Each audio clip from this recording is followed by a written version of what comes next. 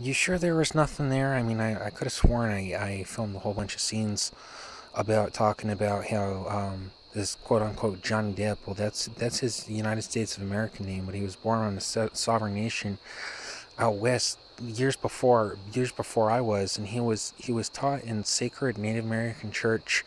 Uh, and and their their own sovereign tribe and policies through shamanism and etc. Is to model himself after me because I was uh, you know, kind of bound to happen on, you know, and well, uh, my nanny, you know, um, who was born in 1898, wound up traveling.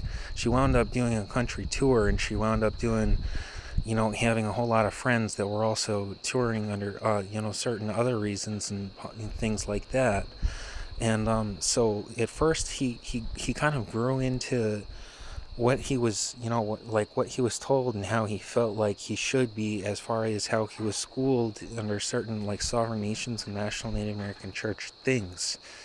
And so he came out with his first couple films, and they were Nightmare on Elm Street and Platoon.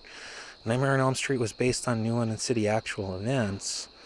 Um, and he, he actually, at one point in time, I, I actually looked a lot like he did for one reason or another. It was while I was going to high school and I was having a really hard time um, because I, I, I, you know, I, I cut my hair like I would since 2003 and etc. to ship shape, you know, tit tot tight as far as you know, son of a sailor, son of a son of a sailor sort of thing. So, and uh, try try my my darndest to to learn at the appropriate learning level, considering off of every other on and off of every other boat that's ever landed at Fort Trumbull submarine dock and somehow I'd get there and it'd be remedial studies. And next thing you know, I have long hair that's like curly and wavy, and I was like white for a very long time, and my eyes just weren't mine, and I wasn't speaking in English. And then next thing you know, I had like curly rings, like like ringlets, like down my face. Like uh, on, you know, on, instead of sideburns, I have ringlets, and eventually I made it to the city, and I went down there instead of to the to the public school, the high school, and um, my haircut stayed and all sorts of other stuff. Unfortunately, I got some kind of weird tattoo on my left arm when I was like that. And then um, six months later, we got the note that Johnny Depp was doing his Pirates of the Caribbean film, and he would be in New London Harbor-ish or whatever they called it in Long Island Sound, and hopefully parking at the at the New London dock for his Pirates of the Caribbean with a with a, a boat from the first film.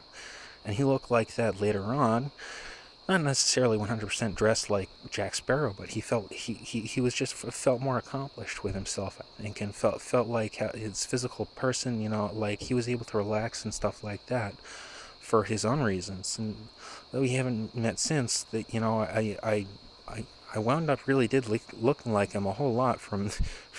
you know, platoon in Vietnam, and consequently, I felt a whole lot more comfortable looking like how I would dress myself instead of, you know, due, due to, uh, you know, uh, you know, like service regiment, etc. It's like as if I was be in the Navy, although I applied for the Green Peace instead of like, who would they call me? They'd call me like Daniel the Lion or something. And I'm like, this is public schools and stuff. And yeah, but she really likes you, sort of deal. It's like you were given a, a practice sex partner for health, and you're expected to court her for these things in these ways. And I'm like, but that this that that that but it haha oh boy it was uh, strange so in the past yeah four